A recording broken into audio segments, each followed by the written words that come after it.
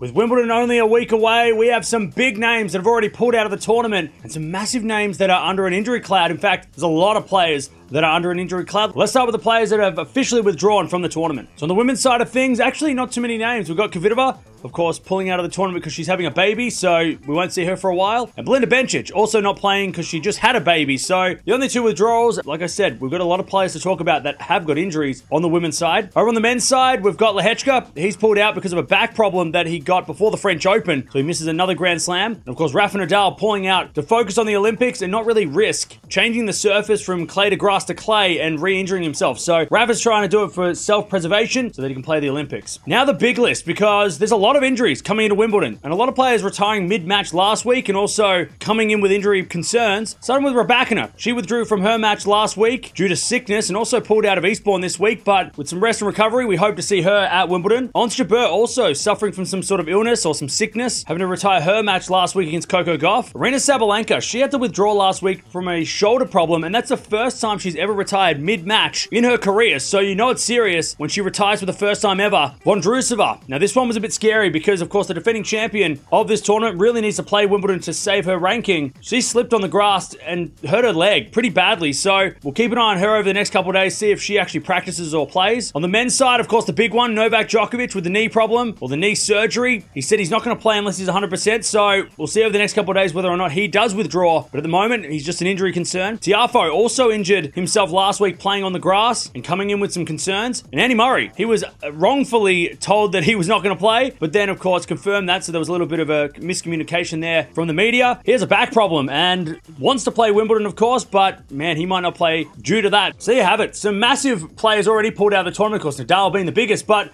some massive concerns as well over the next couple of days.